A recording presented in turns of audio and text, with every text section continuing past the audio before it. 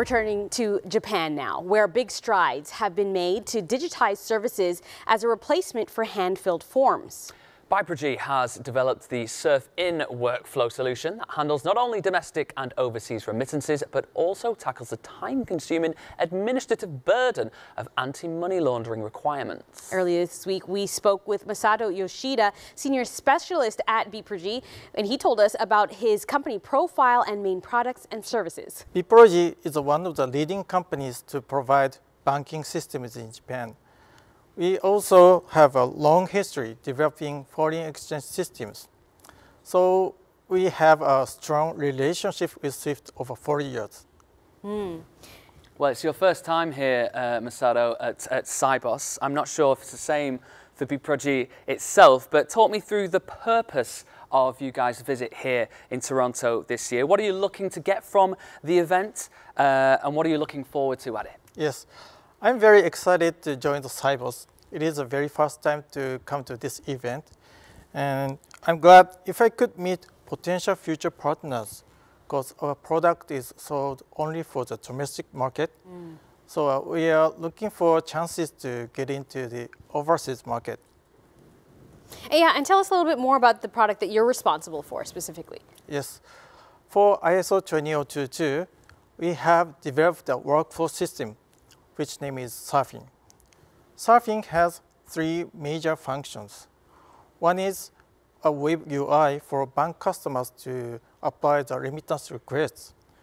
And the second is the workflow, which is to enable to digitalize document-based internal processes. And the third is to automatically generate MX, MX messages. Traditionally, those systems, systems are separated on the legacy architecture. And so we have integrated as one system. So how would banks use this, this SurFIN uh, system? Talk us through some of the key features. Good question. At many banks in Japan, when they have remittance requests from customers, so many types of documents are required, such as um, customers requesting forms, checklists, and some kind of uh, reporting materials. They need those papers to carry out internal operations because AML regulation is so strict.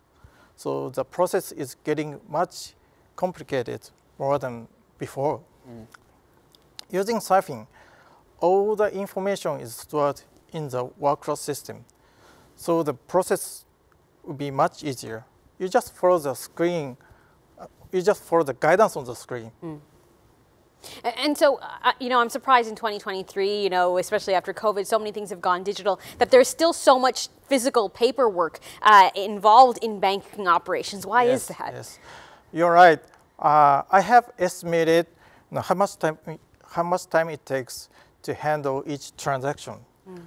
About one hour for the reception at the bank branch, and another one hour for internal operations. It is very um, surprising that the operation cost is very high, so the remittance fee keeps very expensive. Mm. Now, I know you guys are planning to start Business Connect in Japan. What's happening yes. here? Uh, yes, we have signed a contract, a enabler program, a month ago, and plan to start uh, Business Connect on the next year.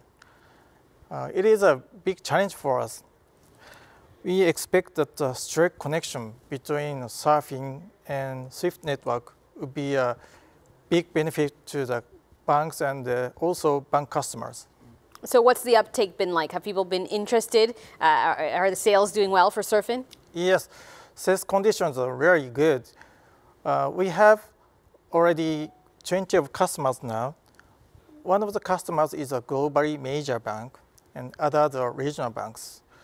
Uh, toward ISO 20022, we are making proposal to um, 40 to 50 customers now.